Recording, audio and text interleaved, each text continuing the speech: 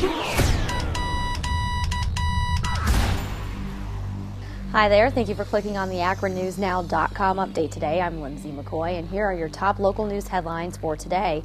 New unemployment figures for the Akron area are out. The bad news is that Akron's unemployment rate is 12.2%, but the good news is it didn't go up last month.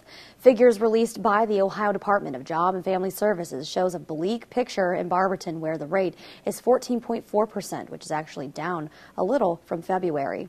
In Canton, 4.1% of the workforce spent the last month pounding the pavement. And the numbers for Kent, Medina, Cuyahoga Falls, and Stow are listed on AkronNewsNow.com.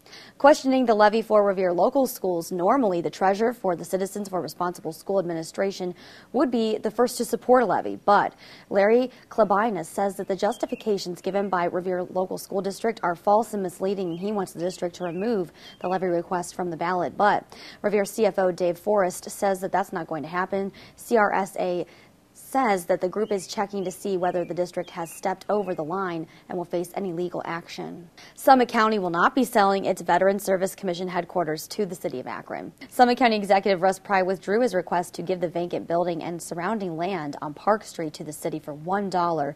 Several county council members question why the county, which has been going through tough times financially, wouldn't just auction the property off. Pry says the county will examine the situation carefully. Two more suspects are now in custody in connection with the death of an Akron man. It happened last weekend. Police have now been following up on tips, and Wednesday they picked up two men, charged them with aggravated murder in the death of 38-year-old Clifford Cummings Jr. of Akron. Suspects Jarmel Latimer of Akron and Lawrence Burfitt of Ravenna joined suspect Damian Backstrom in the Portage County Jail. In AkronNewsNow.com sports, Game 3 between the Cavs and the Bulls will be played tonight in Chicago.